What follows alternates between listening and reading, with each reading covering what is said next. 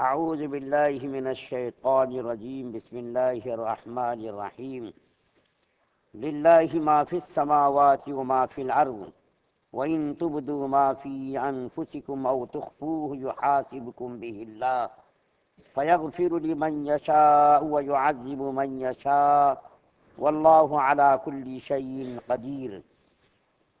اللہ تعالیٰ ہی کی ملک ہیں، سب جو کچھ آسمانوں میں ہیں اور جو کچھ زمین میں ہے اور جو باتیں تمہارے نفسوں میں ہیں، ان کو اگر تم ظاہر کرو گے یا کہ پوشیدہ رکھو گے، حق تعالیٰ شانہ تم سے حساب لیں گے۔ پھر بجز کفر شرک کے جس کے لیے منظور ہوگا بخش دیں گے اور جس کو منظور ہوگا سزا دیں گے اور اللہ تعالیٰ ہر شے پر پوری قدرت رکھنے والے ہیں۔ سورہ بقرہ کی دو سو چوراسی نمبر کی آیت آپ کے سامنے پڑھی گئی ہے۔ بخاری شریف اور مسلم شریف کے اندر حضرت ابو حریرہ رضی اللہ تعالیٰ عنہ کی روایت نقل کی گئی ہے اور مسلم شریف نے حضرت عبداللہ ابن عباس رضی اللہ تعالیٰ عنہ کی روایت بیان کی ہے کہ جب یہ آیت کریمہ نازل ہوئی، جو آپ کے سامنے پڑھی گئی، جب یہ آیت کریمہ نازل ہوئی تو صحابہ کرام بڑے پریشان ہو گئے اس آیت کریمہ کے اندر غیر اختیاری خیالات اور غیر اختیاری وساوس پر بھی اللہ تعالیٰ پکڑ فرمائیں گے۔ ظاہر کرو، اس کو، اس کے اوپر بھی پکڑ ہوگی اور نفس کے اندر چھپاؤ، اس کے اوپر بھی پکڑ ہوگی۔ تو صحابہ کرام بڑے پریشان ہوئے۔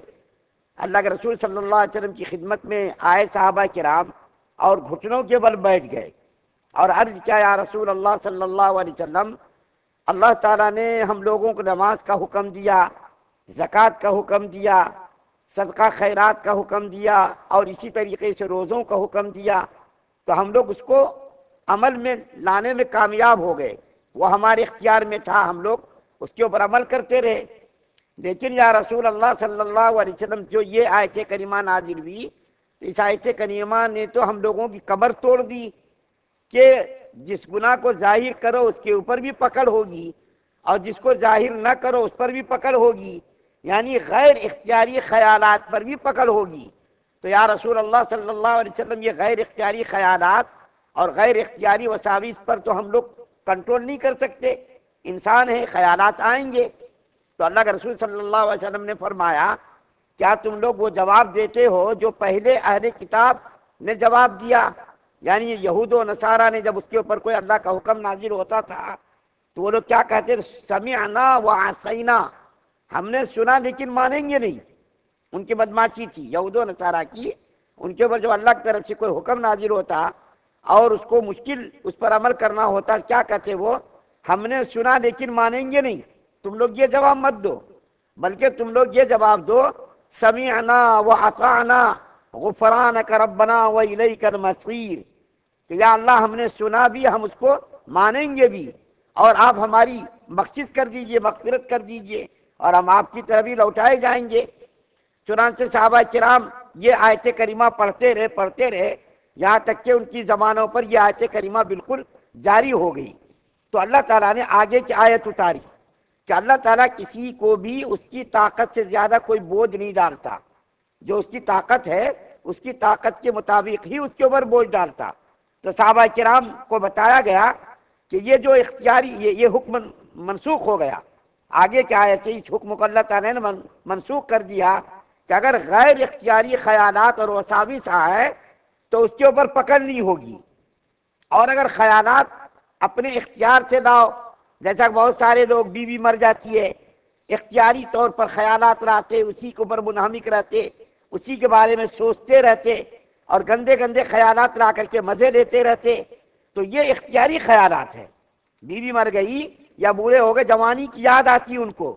جوانی میں ہم نے کیا کیا کارنامے انجام دیے، جوانی میں ہم کیا کیا کرتے تھے ان خیالات کو لا لا کر کے مزے لیتے تو ان خیالات کو لانا اختیاری طور پر اس کے اوپر تو پکڑ ہوگی، لیکن غیر اختیاری طور پر جو خیالات آ جائیں، جیسے نمازوں میں خیالات آ جاتے یا اور تنہائی میں رہتے خیالات آ جاتے، اس لیے کہتے ہیں خالی گھر شیطان کا اڈا رہتا۔ اسی طریقے سے خالی آدمی شیطان اس کے ذہن و دماغ پر مسلط ہو جاتا۔ آدمی کو خالی نہیں رہنا چاہیے، کسی نہ کسی جائز کام میں لگے رہنا چاہیے۔ ناجائز کام میں نہیں کہہ رہا۔ جائز کام میں لگے رہنا چاہیے، چاہے وہ کچھ بھی ہو۔ چنانچہ ایک بزرگ کے بارے میں آتا ہے، وہ کہیں جا رہے تھے تو دیکھا کہ ایک آدمی بیٹھا ہوا ہے، خالی بیٹھا ہوا ہے۔ تو بزرگ نے کہا کہ دیکھو، اس کے اوپر ابھی شیطان مسلط ہے۔ اس کے بعد جب واپس آ رہے تھے وہ بزرگ، تو دیکھا کہ وہ زمین کو کرید رہا ہے۔ تو بزرگ بزرگ نے کہا کہ اب اس کے اوپر شیطان مسلط نہیں، کیونکہ کام میں لگا ہوا ہے۔ اور ایک وقت میں دو خ... دو طرف آدمی کا دل و دماغ نہیں جاتا۔ تو آدمی کو کسی نہ کسی کام میں لگے رہنا چاہیے، تو آدمی خیالات سے اور وساوی سے محفوظ رہتا۔ تو اس آیت کلمہ کے اندر دیکھیے کچھ باتیں بتائی گئی جس کو میں بیان کرتا ہوں۔ اللہ تعالیٰ فرماتے ہیں کہ زمین اور آسمان یہ ساری چیزیں کیا ہے؟ اللہ کی ملک ہے اللہ نے ان ساری چیزوں کو پیدا کیا، اسی کے زیر حکم ہے اور اسی کے تسلط میں ہے۔ ساری چیزوں کو اللہ تعالیٰ نے پیدا کیا۔ اور تم کسی چیز کو ظاہر کرو یا اس کو دل میں رکھو، اس کے اوپر پکڑ ہوگی۔ تو اللہ تعالیٰ نے اس حکم کو آگے کا ایسے منسوخ کر دیا۔ اس کے بعد اللہ تعالیٰ فرماتے ہیں کہ اللہ اگر چاہے، اللہ اگر چاہے کہ تم چاہے تمہاری جسمانی غلطی ہو، قلبی غلطی ہو، چھوٹی غلطی ہو، بڑی غلطی ہو، اگر اللہ چاہے تو تم کو سزا دینے پر مختار ہے۔ اور ماں لکھتے ہیں اس آیت کریمہ کے اندر کہ چھوٹی غلطی ہو، بڑی غلطی ہو، جسمانی ہو، کوئی بھی غلطی ہو، اس کی سزا برحق ہے۔ لیکن لازم نہیں، اللہ کو بر لازم ہے۔ اللہ تعالیٰ کسی حکم کا پابند نہیں۔ حق تو ہے سزا، حق ہے بالکل، اس کے اندر کوئی شک و شبہ نہیں۔ لیکن لازم نہیں۔ اللہ اگر چاہے تو سزا ملے گی۔ اللہ اگر نہ چاہے تو سزا نہیں ملے گی۔ اللہ اگر چاہے، جیسا کبھی میں آپ کے سامنے بیان کروں گا، حضرت تاؤس نے حضرت عبداللہ بن عباس رضی اللہ تعالیٰ عنہ کی روایت بیان کی ہے۔ وہ کہتے ہیں کہ اللہ تعالیٰ اس آیت کریمہ کے اندر جو فرماتے ہیں فیاض فیر من یشا اس کا کیا مطلب ہے؟ اللہ اگر چاہے تو بڑے بڑے گناہوں کو بخش دیں گے۔ کبیرہ گناہوں کو بھی بخش دیں گے، صغیرہ کبیرہ، صغیرہ گناہوں کو بھی بخش دیں گے۔ توبہ کر کے مرا ہو یا بغیر توبہ کے مرا ہو، اللہ اس کو بخش دیں گے۔ فیغ فر من یشا کا مطلب یہ بیان کیا۔ اور ویعذب من یشا کا مطلب یہ بیان کیا کہ اگر اللہ چاہیں گے چھوٹی چھوٹی غلطیوں پر بھی ہماری پکڑ لیں گے، اس سے کوئی پوچھنے والا نہیں۔ چاہیں گے بغیر توبہ کے بھی بڑے بڑے گناہوں کو معاف کر دیں گے، شرک کے علاوہ بڑے بڑے گناہوں کو۔ اور اگر چاہیں گے تو چھوٹی چھوٹی غلطیوں پر بھی ہماری پکڑ کر لیں گے، کوئی ان کو پوچھنے والا نہیں، اس سے کوئی سوال کرنے والا نہیں۔ اور اس کو کوئی یہ بھی نہیں کہنے والا کہ آپ نے چھوٹی غلطی پر اس کی پکڑ کیوں کر دی، اور بڑی غلطی آپ نے کیوں معاف کر دی۔ اس کو کوئی پوچھنے والا نہیں، کوئی کیونکہ وہ مختار خود ہے۔ اور حاکم ہے، بادشاہ ہے، جو چاہے وہ کرے، اس کو کوئی پوچھنے والا نہیں۔ تو وساوت کے بارے میں میں ایک دو روایت بیان کرتا ہوں۔ اللہ کے رسول صلی اللہ علیہ وسلم نے فرمایا کہ آدمی جب برے کاموں کا ارادہ کرتا ہے تو جب تک وہ ارادہ کرنے پر اس کی، اس کے، اس کا گناہ نہیں لکھا جاتا۔ جب تک وہ برا کام نہ کر لے، اس وقت تک اس کے گناہ، اس کے گناہوں کو نہیں لکھا جاتا۔ چنانچہ جب کوئی گناہ کر لیتا ہے تو اس کو، اس کا ایک گناہ لکھا جاتا۔ جب کوئی گناہ کر، ارادہ کرتا ارادے پر کوئی اس کا گناہ نہیں لکھا جاتا۔ لیکن ارادہ کرنے کے بعد جب وہ گناہ کر لیتا ہے، تو اللہ کیا فرماتے فرشتوں سے؟ اس کا ایک گناہ لکھ لو۔ اس کا ایک گناہ لکھ لو۔ لیکن اگر وہ بندہ نیکی کرتا ہے، تو نیکی کے بارے میں اللہ فرماتے ہیں، دس سے لے کر سات سو تک اس کی نیکیاں لکھ دو۔ اللہ تعالیٰ کا میں بار بار بتاتا رہتا ہوں کہ اس امت پر خصوصی توجہ ہے۔ اس امت پر اللہ تعالیٰ کی خصوصی توجہ ہے۔ کیا فرما رہے ہیں؟ پہلی امتوں پر ایسا نہیں ہوتا تھا۔ پہلی امت جب گناہ کرتی تھی، اس کے دروازوں پر لکھ کر کیا آتا تھا؟ جیسا ٹی وی اسکرین پر لکھ کے آتا، دروازوں پر لکھ کے آتا تھا۔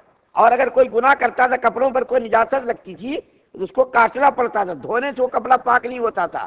اور اگر کسی جسم پر لگتا تھا، کوئی نجاست لگتی تھی، تو اس حصے کو کاٹنا پڑتا تھا۔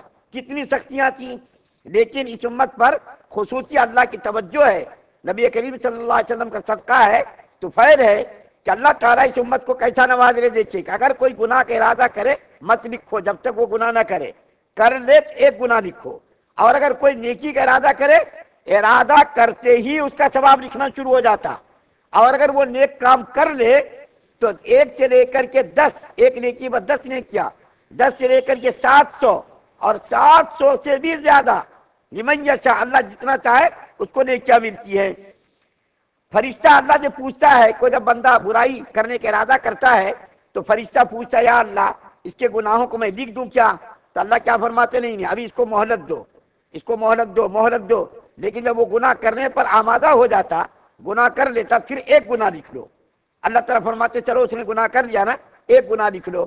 اور اگر اس نے جو ہے کسی نیکی کا ارادہ کیا، تو نیکی کا ارادہ کرتے ہی وہ فرشتے اس کی نیکیوں کو لکھنا شروع کر دیتے۔ قیامت کے دن اللہ تعالیٰ ایک آدمی کو بلائیں گے اور بلا کر کے اللہ تعالیٰ ان سے پوچھیں گے کہ تم نے دنیا میں یہ گناہ کیا، یہ گناہ کیا، یہ گناہ کیا؟ وہ بندہ کہے گا ہاں یا اللہ، میں نے یہ بھی گناہ کیا تھا، یہ بھی گناہ کیا تھا، وہ بھی گناہ کیا تھا۔ سارے گناہوں کا اقرار کرے گا۔ پھر اللہ تعالیٰ کیا فرمائیں گے؟ اے میرے بندے، دنیا میں میں نے ستاری کی تھی۔ تمہارے گناہوں پر پردہ ڈال دیا تھا، تمہارے گناہوں کو چھپا دیا تھا۔ اب ہر گناہ کے بدلے میں نے تمہارے گناہ کو بخش دیا۔ اور ان گناہوں کو نیکی اس میں نے بدل دیا۔